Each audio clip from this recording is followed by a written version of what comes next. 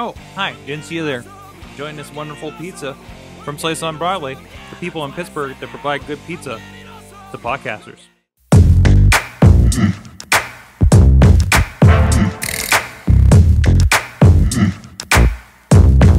Guys, it's Mike Sorg, and it is the Awesome Chat, and uh, this is our interview series for AwesomeCast.net. And today, in conjunction with InsertCoin2Begin.com, our colleagues over there, uh, we're getting a very geeky, very video game music-based uh, interview today. Very excited about that. But first, please go check out everything at like I said, InsertCoin2Begin.com, awesomecast.net, and subscribe to this and other podcast shows, content that we're been we've been doing over seems like forever, doesn't it? Uh, but uh, anyways, today we have Arnie Roth.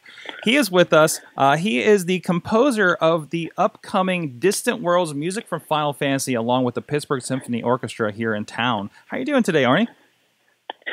I'm doing great. Awesome. How are you? Awesome, awesome. So, so tell me, first of all, uh, uh, give me a little bit of background. You are a, a Grammy-winning uh, composer, right? Yeah. Let me. I want to clear up. You introduced me as the composer of conductor. I'm so the, sorry. the that's right. As composer of the uh, of the Final Fantasy concert that we're doing with the Pittsburgh Symphony. We call it Distant Worlds Music from Final Fantasy. Mm-hmm. And we've been touring for eight years with that. Wow. Um, I work with Square Enix in Japan, which is the publisher of the game, Final Fantasy. And all fans throughout the world will know that the primary composer of the Final Fantasy series is the great Nobu Uematsu. And uh, we uh, are indebted to him for hours and hours, probably thousands of hours of music that he's composed uh, for the last, I don't know, 28 years of Final Fantasy now. Um, but yes, I'm a Grammy Award winning musician, uh, conductor, and I work directly with Nobu Uematsu, the composer, and with Square Enix in Japan uh, to present this concert uh, all over the world. Uh, we just performed with the Seattle Symphony last week. Nice.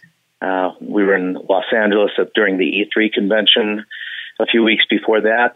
Um, we literally played this in uh, Royal Albert Hall in London, in Paris, uh, in South America, in Buenos Aires, um, in all over Asia, and uh, it's just a, a, true joy to bring it everywhere in the world. So it's going to be fantastic bringing it to the Pittsburgh Symphony, one, one of the world's really great orchestras. Mm-hmm. Uh, now, this is uh, it, so. What brings you to a project like Final Fantasy? Uh, that's that's a more difficult question because the the simple answer, the circumstances were that um, as music director and conductor of the Chicagoland Pops Orchestra, mm-hmm. back in 2004, we were looking around for programming and doing research on lots of different possibilities. Um, one thing that came up through a colleague of mine, I've been involved with multimedia and, and uh, uh, directing uh, pop artist and uh, classical artist for many, many years as uh, an arranger, composer, and conductor. And as we were looking around the world for programming for our next year's concerts, it was brought up to me that Japan had been performing music of various video game series for many, many years, um, since 1998, perhaps. Um, and we had never had a public concert of video game music in North America. Mm-hmm. Uh, and at that point, we had never had one in Europe at that point either. So it seemed like the rest of the world was quite behind the times with that, and we decided to take a chance. And we um, launched the first public concert of the music of Final Fantasy in February of 2005 um, in Chicago, and at a fairly large venue, um, Rosemont Theater, and it 4,000 seats, and it sold out. It was a very exciting concert. That concert was called Dear Friends, uh, music from Final Fantasy, and that was the first time that I was able to meet Nobu Uematsu and start working directly with the the game publisher Square Enix. Um, and since that point, it just kind of blossomed. My relationship with Square Enix uh, became um, much more of a long term relationship, uh, as with the composer, the primary composer as well. And uh, I did several concerts for them in Japan and elsewhere around the world at the invitation of Square Enix. Um, and they eventually said, uh, "Can we develop a an actual global touring model with license uh, to bring it all over the world?" Because there were so many areas of the world that had never had a concert of Final Fantasy music at that point, and that was the genesis of the formation of um, the current the current tour, which is Distant World Final Fantasy. Awesome, awesome, and and, and it's been really interesting because uh, Final Fantasy isn't the only one that's been around. I know we, we in Pittsburgh we've been fortunate to have uh, video games live, and and uh, I believe they did uh, mm-hmm. Zelda music last year as well. Uh, w- what do you see to the right. rise of this uh, this connection? I mean, you seem to be one of the first groups that did this kind of thing. Um, but you know, what do you see about that? And is this a really good thing to kind of bring people into the symphony that maybe don't get to experience that? Yeah, certainly it's been a real boon for um, symphony orchestras.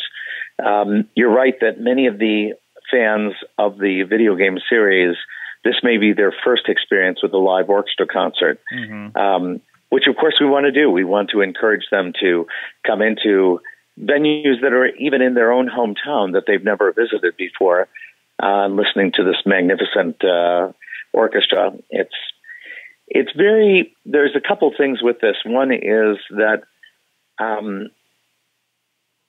this concert is dedicated to the presenting the music as close to the way it was heard in the in the original form in the game as possible. Um, because Final Fantasy has been around for 28 years, that means that we're going back to some items that were composed on computer chips, you know, for 8 bits before the platform went up to 16 bit data.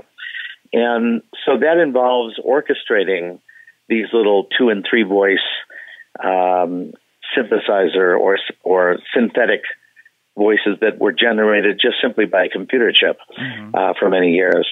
Uh, it wasn't until it, it went to 16 bit data platforms that they were able to record live music, um, orchestras, rock bands, choruses, um, all different formats. And Final Fantasy also was the first game that recorded live music for the video game. I think that was in 1997, I believe. Uh, the seven, seven uh, right, yeah. I think it was Final Fantasy VIII, Roman numeral eight, was the first one that had live orchestra recording mm-hmm. as part of the soundtrack of the game. So Final Fantasy has been at the forefront of this for a long time. Um, you know, there are other um, other video game tours that are out there. You mentioned uh, Zelda. That's more a situation where um, the orchestra is performing a, a score that is a, an arranger's fantasy on themes of Zelda. I've conducted many of those before too. The the music of Zelda, and again, it's more about the mind of the arranger than it is about the original composition we hear themes, and you're accompanying a film essentially. The orchestra puts on a headset and a click track, and and they're basically an underscore to that film, which is images from the game, of course. Right. Um, that that's not what Distant Worlds is. In in this case, we're playing music from all 14 of the main Roman numeral releases of the game. Each one of the releases is Final Fantasy 1, 2, 3, 4, etc., all the way up to 14 right now. Um, and uh, Video Games Live is another kind of a, a, concert where it's more about a light show, frankly. Um, Video Games Live performs sometimes with a, as few as 15 or 18 musicians. Uh, again, wearing a headset and in sync with um, pre recorded tracks and things like that. This is a completely live orchestra and chorus concert, Distant Worlds. Um, uh, every aspect of it is live. I, we bring our own video operator, and the music drives the show so that the video operator is reacting to our music performance. Video starts when I uh, launch the orchestra at the beginning of each piece, and he's able to uh, crossfade between sources so that he's staying in what we call soft synchronization with the live music performance, uh, whichever piece we happen to be playing. Uh, so there's a giant screen. There's a full orchestra. We're using the Mendelssohn Choir of Pittsburgh. Um, and there's the entire Pittsburgh Symphony, plus some vocal soloists. Um, we're doing a, um, actually, we're doing an opera that Nobu Uematsu composed as part of Final Fantasy, Final Fantasy VI. Uh, it's called Opera Maria and Draco, and uh, it's about a 15 minute piece that involves narrator, three vocal soloists, as well as chorus and orchestra. So it's a very exciting piece. We're happy to bring it to Pittsburgh. We'll also have uh, the composer Hitoshi Sakimoto, who is the composer of Final Fantasy XII and Final Fantasy Tactics and several other releases from uh, Square Enix. He's flying in from Japan and he'll be with us. So I'm excited about that as well. Um, I could give you some more highlights, I suppose, as no, well. That's, that's great. But have that's the some, main uh, the main program. That's great. I actually have some questions uh, uh, again from the rest of the staff here at Coin to begin that they wanted to know when we when we were fortunate enough to be uh, talking with you about this. Uh, first of all, uh, whether I don't know, I, I, don't know if you were just kind of more into the music side of things. Or, well, first of all, have you actually dived in and played some of the games yourself? I've tried, believe me. hey, I, am in the same boat. I'm but a, I have to, I have to be honest with you. It's Uh-huh. a very difficult game. oh yeah, Final Fantasy is an is an RPG, a role playing game, as you Mhm. know, and um, it's for me to get to the various music themes that I'm working on Mhm. on any given concert or pro- project re- would require hours and hours of playing, and I'm just simply not good enough to get to all those themes. So it's actually much more efficient for me to work directly with the composers right. And there are many different composers um, from the series. And that's a great joy, anyhow, for me, uh, Mhm. is to be able to work directly with them and see what they really want uh, from these various scores to bring to life on stage.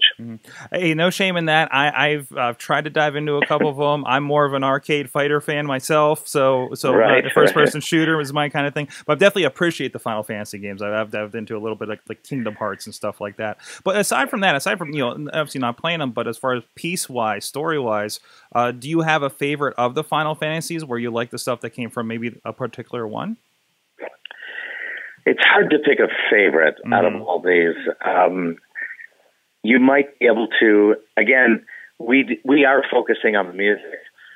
All of the visuals that we present are in the service of the music. So uh, we're, cr- we're creating visual sequences.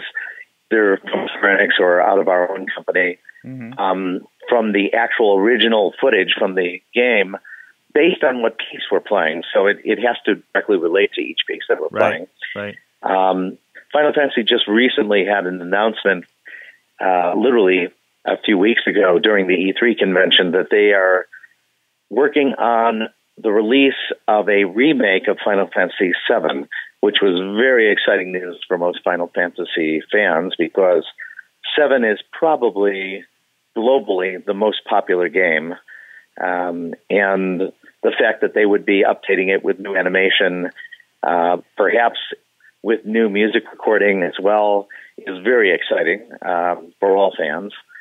But in terms of picking a favorite, it's really difficult for me to uh, give you any one uh, version of the game. I would be I would be able to give you a couple of favorite battle themes Mhm. or favorite character themes or that kind of thing because Final Fantasy is is um, again it's this this wonderful combination. It's an RPG game, but Nobuo Uematsu started out by writing individual themes or leitmotifs for every single character, every important battle, every important quest or journey.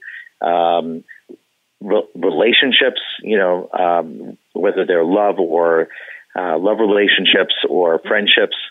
He had a, a musical theme for each one of these. And over the 28 years of Final Fantasy, some of these themes have become so near and dear to the hearts of the Final Fantasy players um, that it's it's actually astounding. We have there are fans that um, uh, use that music for their weddings.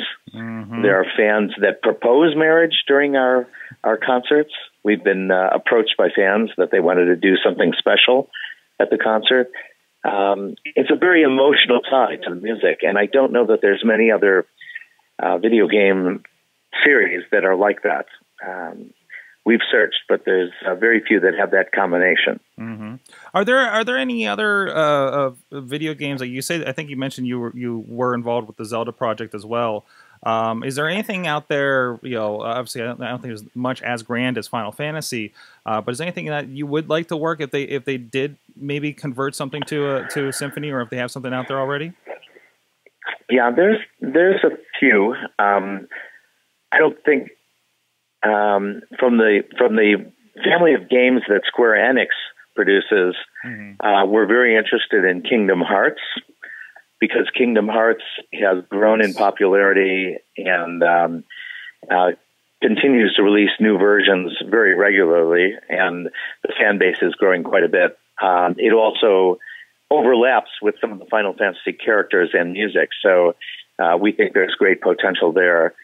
Then, uh, from some of the other platforms, it's hard to ignore the huge growing popularity of things like Halo, for mm. instance. Um, though uh, Final Fantasy has sold more units globally um, and is, you know, it's been around for 28 years. Halo has been around for many fewer years than that. So um, Halo's grown quite a bit. I just don't know because the nature of the game and the nature of the way music is used in the game whether it could support an actual concert series. Um, but that's that's one, and there's several others that we, of course, have our eye on and and uh, are investigating all the time. Excellent, excellent. Um, so I understand you were involved with Mannheim Steamroller. What was that experience like? yeah, I'm actually one of the original members. I've played with them for nice, well over 25 years, mm-hmm. um, and I continue um, to be involved. Uh, Chip Davis and I are more than just colleagues; we're almost brothers at this point. And I produce a lot of records for uh, their record company, American Gramophone, the parent company of uh, Mannheim Steamroller. Um, you know, it was a great experience being able to present alternative uh, versions, not just of the Christmas music, but um, mm-hmm. Mannheim Steamroller was kind of one of the grandfather musical groups of the New Age movement when New Age was actually a very different kind of music uh, back when it was first introduced. Um, now it's been kind of thrown into uh, easy listening or or jazz or any number of things that have crossed over. But in the early days, there were very few groups that were doing this kind of highly structured, um, in many ways classically written um, music that crossed over between Baroque and classical era and rock and roll. Um, the vocabulary was a wonderful mashup of those things, and uh, we had a great time touring the world with uh, with that. And they continue um, both selling records and uh, touring, especially during the Christmas period. Mm-hmm. Uh, and Chris and I worked, uh, Chip and I rather, worked together all the time. So um, uh, I stay very close to the Mannheim Steamroller family. Mm-hmm. Another another collaboration I have listed here uh, that, that, that some of the guys uh, brought up. We're big fans of Patrick Stewart. I understand you had a, a, at least a project with him as well. yeah, that's true. Um, that one was an interesting one. It it came out of my involvement with um, a production called Every Good Boy Deserves Favor. This was a um, a, a, new production. It was commissioned by the London Symphony, and Patrick Stewart was the original um, director of this in London when it was first launched. It was commemorating the 100th birthday of the uh, London Symphony at the time. And we were touring in the United States with the entire Star Trek Next Generation cast. Oh, nice! Um, with this, with this score was uh, was written by Andre Previn, and the the play was by Tom Stoppard. Fantastic piece. I'd love to do it again sometime. But Patrick and I struck a friendship during those performances, and uh, he agreed to do this original voiceover of uh, the the uh, story or poem that was the uh, the inspiration or the program around which Vivaldi wrote the complete Four Seasons. So uh, it's maybe the very first um, uh, the first occurrence of what might be called program music was the, the Vivaldi Four Seasons. In other words, it was written around a script. Very few people know that, and so my recording was actually the first one to include this script that was the uh, poetic inspiration of uh, that Vivaldi used for the Four Seasons. So that was that project. amazing, amazing. Um, yeah.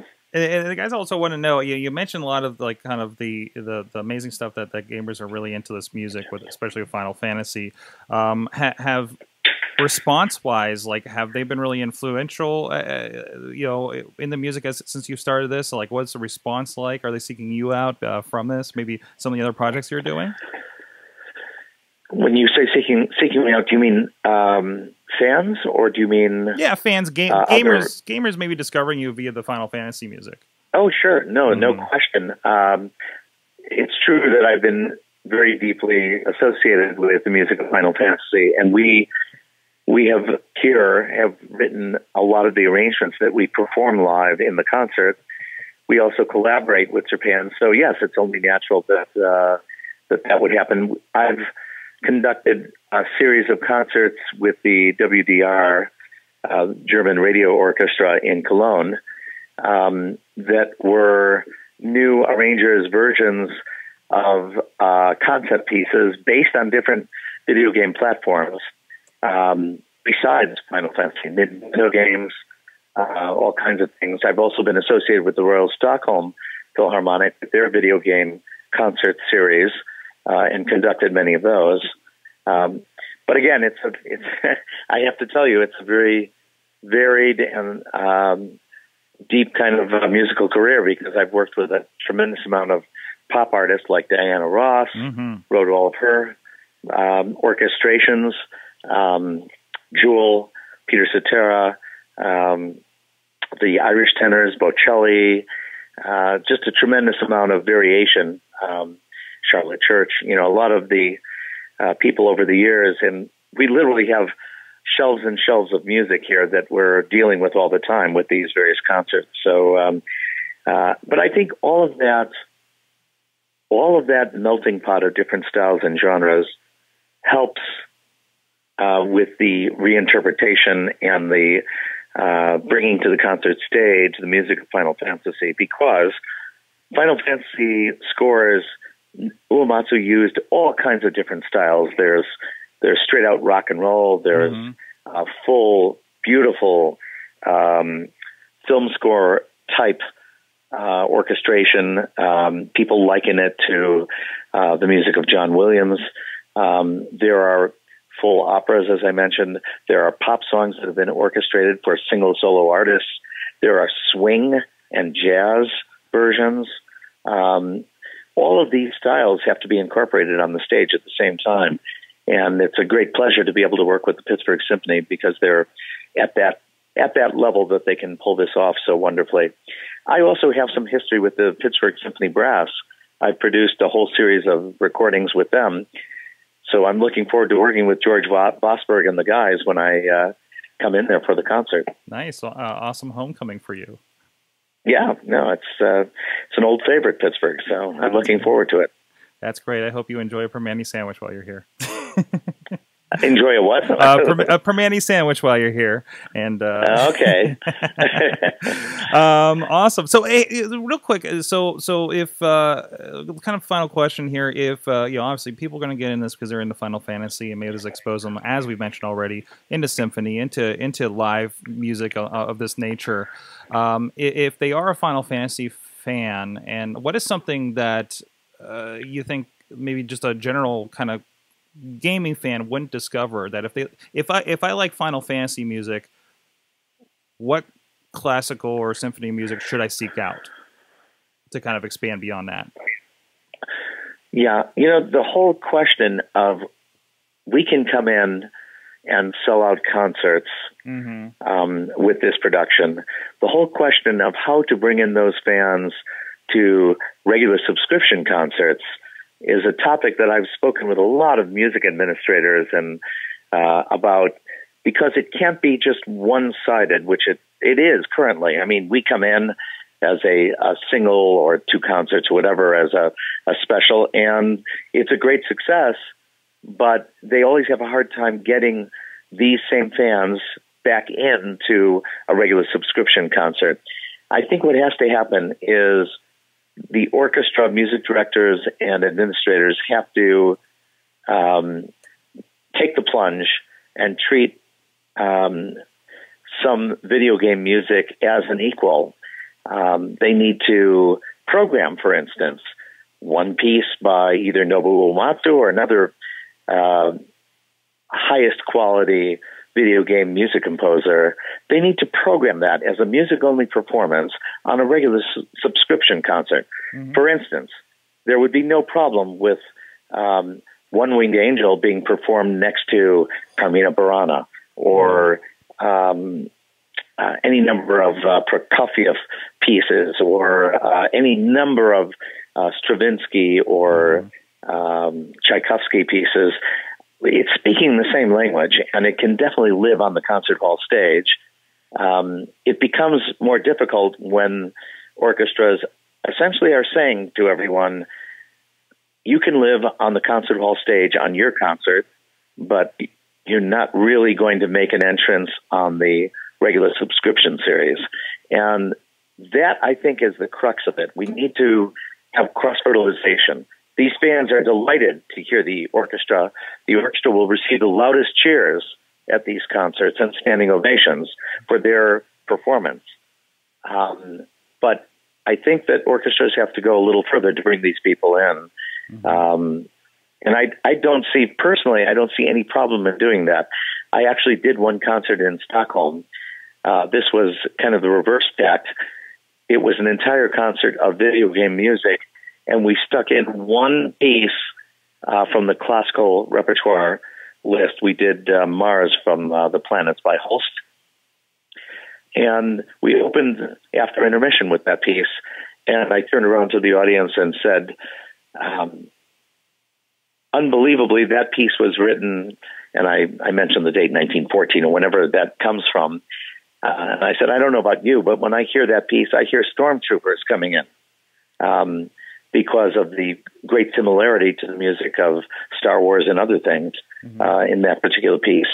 And I, I told them at the time from the podium that it's very important for all of us to remember that we all stand on the shoulders of all the greats that came before us, all the great composers. Um, Nobuo Uematsu didn't just jump out of thin air.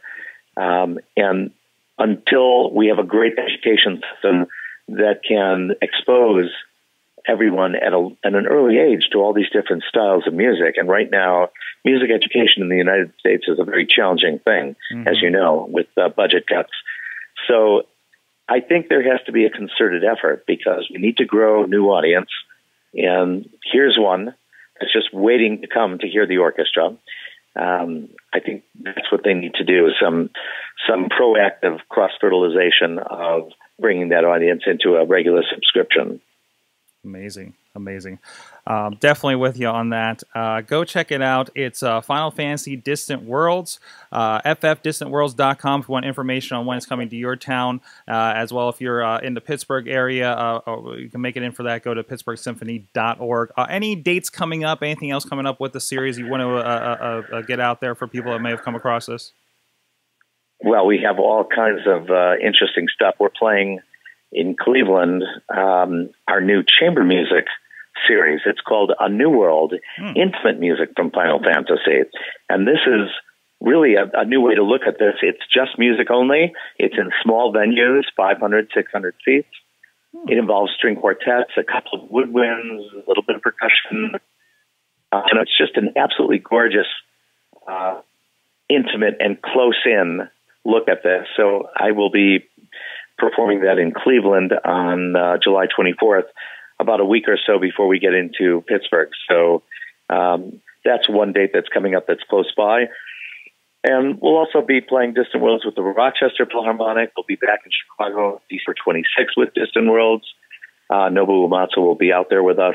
But I'm most excited about uh, August 1st with the Pittsburgh Symphony. That's going to be a great show. Awesome. Go check it out. Get your tickets while you still can. And uh, thank you very much, Arnie Roth, for joining us here. Uh, so so great to talk to you as an old time going to the going to the symphony as a kid and uh, seeing seeing this awesome stuff happening. So well, thank you so much for the time. I mean, there's as you you well know, you're a fan. You know that there's nothing like um, hearing well over 100 musicians on stage. Oh, powerful. Uh, the dynamic range and the articulation range is just infinite. It's it's really mind numbing. It's fantastic. Thank you so much. And of course, you can check out everything else going on. We'll be following this, any other fun stuff like this over at insertcointobegin.com, awesomecast.net for all the other geeky things that aren't video games. And uh, and uh, this really kind of fits all of it. You know, a lot of us are music geeks around here too. I think I'm going to dust off the old trombone and maybe get at it again myself. So there you go. There you go. Come on down and, and join us. Right. That's right. That's right. Thank you so much for joining us. And we'll see you guys. You have been my awesome, awesome guests. You guys have been my awesome audience. Have an awesome week.